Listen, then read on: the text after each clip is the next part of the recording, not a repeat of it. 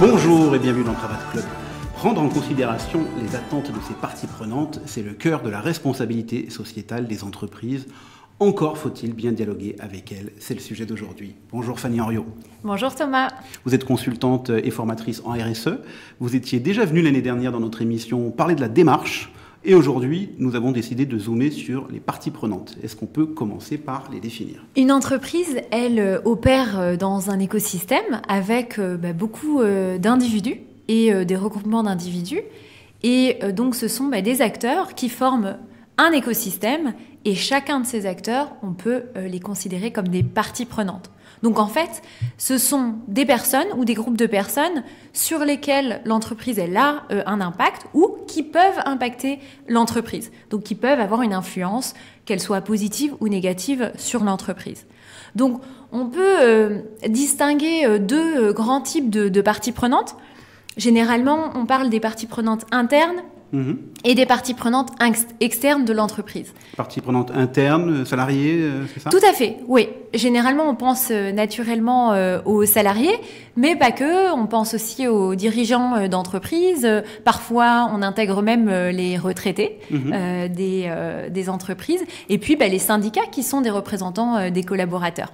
Et puis, on a les parties prenantes externes qui vont euh, concerner euh, euh, les consommateurs, donc les clients, les fournisseurs, les investisseurs, les actionnaires. Mais on a aussi des parties prenantes un petit peu plus éloignées qu'on ne pense pas toujours à première vue, comme les ONG, la société civile ou les riverains dans, par exemple, les industries. Alors, on, peut imaginer parfois qu'elles sont assez éloignées, ces parties prenantes. Pour- Pourquoi elles sont importantes tout de même? Alors les parties prenantes, elles sont importantes parce qu'elles ont des attentes, Mhm. euh, des attentes et des intérêts euh, liés à l'entreprise. Je vais prendre un exemple euh, très simple. Les fournisseurs vont avoir des attentes, par exemple en matière de délai de paiement, mais aussi en termes de relations équilibrées et durables. On peut prendre un autre exemple un petit peu plus euh, éloigné. On prend le cas d'une euh, euh, exploitation minière eh bien, euh, les communautés locales, les riverains qui vont euh, être autour de cette mine, vont avoir des attentes très fortes, tout d'abord en matière de santé et de préservation de l'environnement, mais aussi des attentes fortes en termes d'emploi local, de création euh, d'entreprises, d'accompagnement des petites et moyennes entreprises, puisqu'on sait très bien que généralement on se situe dans des zones reculées, isolées, où il y a peu de développement et des besoins forts avec assez peu d'infrastructures. Et donc, quel est l'enjeu dans ce cas-là? L'enjeu pour une entreprise, il réside vraiment dans le fait de pouvoir identifier ses parties prenantes, interagir avec elles pour tenter de répondre à leurs attentes et puis de, euh, évidemment, rendre compte euh, à ces parties prenantes. Alors, on comprend que ces parties prenantes ont, ont beaucoup d'attentes, mais en quoi c'est important pour l'entreprise d'y répondre? Ce qu'il faut savoir, c'est que pendant longtemps, euh, les dirigeants d'entreprise pensaient qu'ils étaient redevables essentiellement envers leurs actionnaires, donc une partie euh, prenante euh, clé de l'entreprise. Et euh, de leur côté, les actionnaires, eux, recherchaient principalement un, un rendement à très court terme. Et ça a créé des situations parfois plus ou moins responsables. On a vu certaines entreprises rechercher des profits très rapidement et, à très, très court terme et en tirant sur leur chaîne d'approvisionnement et ça a créé des enjeux euh, euh, au niveau euh, de leurs fournisseurs sur le plan euh, social, sur le plan des droits humains. Et donc on a vu euh, beaucoup euh, d'activistes, de- d'ONG, de- d'associations de consommateurs commencer à faire des campagnes pour dénoncer ces pratiques et euh, ça a euh, notamment beaucoup entaché la réputation des entreprises. Alors un exemple, euh, je pense que tout le monde connaît le scandale Nike dans les années euh, euh, 90 et je pense qu'on connaît tous cette photo d'un petit enfant en train de coudre un, un ballon de foot, en train de coudre le logo de Nike. C'en est un exemple, mais ce qui s'est passé, c'est que les entreprises ont compris progressivement que euh, eh bien, leur image était entachée euh, par rapport à ces euh, sujets sociaux et environnementaux, et donc ont commencé à prendre en compte davantage de parties prenantes que leurs simples actionnaires. Et de leur côté, les actionnaires, les investisseurs ont commencé à prendre en compte aussi euh, les euh, défis socio-environnementaux euh, des entreprises dans lesquelles ils investissaient, en considérant que finalement, en prenant en compte ces sujets-là, eh bien, ça avait un impact sur la performance financière de l'entreprise. Et que, en créant de la valeur sociétale pour les parties prenantes, on peut tout à fait créer de la valeur économique pour l'entreprise. Donc finalement, c'est une question de, de risque et aussi d'opportunité de- d'entretenir un, un dialogue avec elle.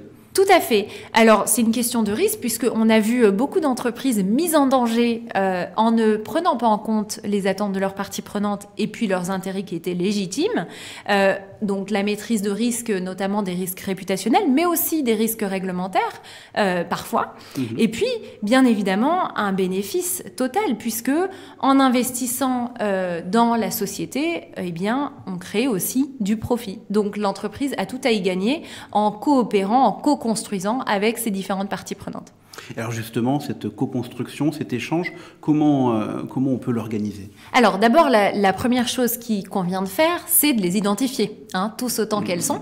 Et vous allez voir qu'elles sont euh, sacrément nombreuses. Donc la deuxième chose à faire, c'est de les prioriser. On ne peut pas malheureusement euh, répondre à toutes nos parties prenantes de notre écosystème. L'entreprise, elle a des ressources limitées. Donc l'idée, c'est de pouvoir les identifier.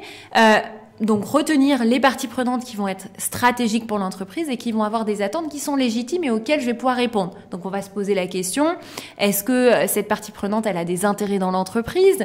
Est-ce que j'ai un impact sur elle? Est-ce qu'elle elle a des droits à faire valoir? Donc on va se poser tout un tas de questions et on va en quelque sorte confronter les enjeux qu'on aura au préalable identifiés au sein de l'entreprise avec les attentes des parties prenantes pour y répondre. Ensuite, ce qui est important, c'est aussi de euh, définir le, le- le mode d'interaction avec laquelle euh, je vais euh, être avec mes parties prenantes. Donc, on va se poser la question euh, sur tel et tel sujet. Est-ce que je vais être dans de la concertation? Est-ce que je vais être dans la négociation? Est-ce que je vais être dans la construction? Est-ce que je vais être dans la cogestion parfois? Donc il y a tout un, certain nombre d'interactions que je vais définir avec les parties prenantes clés euh, de mon entreprise. Ensuite, il va falloir déployer bien évidemment euh, ces modes d'interaction. Et ça, ce qui est important d'être dans la durée et dans la proactivité et pas simplement dans la réactivité.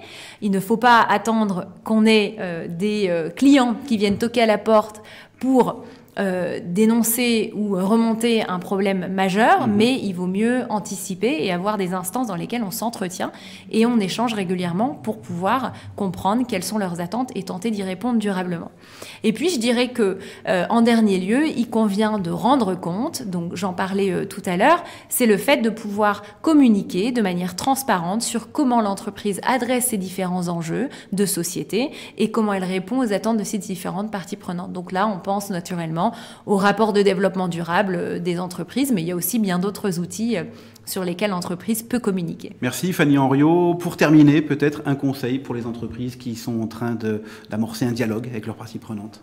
Un conseil, je dirais, euh, attention aux, aux parties prenantes qui sont parfois euh, euh, sous-représentées ou parfois pas du tout représentées et qui peuvent être silencieuses. Il faut faire attention à ne pas les oublier et à engager le dialogue avec elles, à aller les chercher pour euh, co-construire avec elles. Les- les- lesquelles, par exemple? Alors par exemple les clients, les consommateurs qui sont parfois euh, pas représentés en association de, de consommateurs et qui sont euh, très influents. Merci Fanny Henriot pour ce dernier conseil. Je rappelle que vous êtes consultante, formatrice en RSE, un sujet toujours aussi passionnant. À très bientôt dans